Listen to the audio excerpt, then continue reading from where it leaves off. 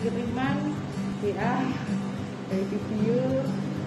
Maaf nih mas sudah mengumpulkan karena tadi sudah dibicarakan sama Pak Ketua permasalahan memang banyak jadi tidak bisa seketika.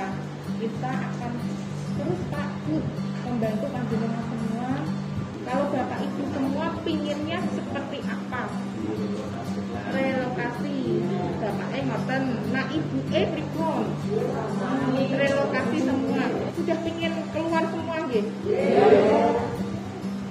tahun terparah nggih terparah. Terparah lima, lima tahun sampai sekarang. lima tahun terakhir Pak.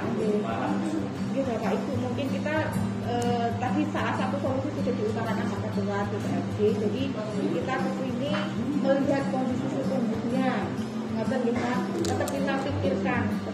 tetapi tunggal-tunggal kita bertahan. Ngoten nggih sabar. Depan. Betul. Iya.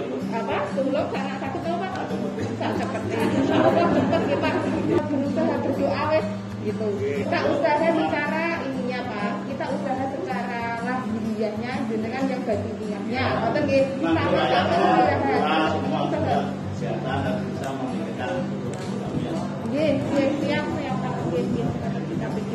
Jadi ini salah satu Bapak Ibu eh, apa nih kepedulian kita dari pemerintah, dari saya, eh, Pemkab beliau, dari legislatif kita peduli kepada jenengan semua.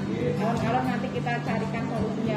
Bareng-bareng usaha, nggih Pak, Bu, Bapak Ibu, ngoten eh, mungkin saya tidak panjang lebar, tapi tetap kita pikirkan.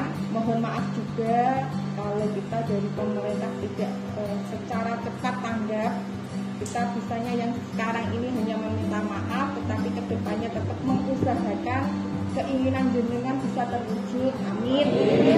Mungkin hanya itu yang bisa kita sampaikan dengan kita datang. Ini untuk sedikit perhatian bukan banyak pak ini sedikit saja kita sudah eh, eh, sambar ke sini. Moga-moga eh, keinginan jenengan terwujud semua. Amin. Amin. Ini sehat semua jadi tidak repot-repot eh, ke sana kemari ngoten nggih mungkin dari saya cukup sekian mohon maaf sekali lagi pada panjenengan semua kita saling mendoakan diberi kesehatan kemudian dalam segala hal kelancaran dalam segala hal tersuwun sekali lagi maaf wallahual muwaffiq ila thoriq. wassalamualaikum warahmatullahi wabarakatuh Waalaikumsalam.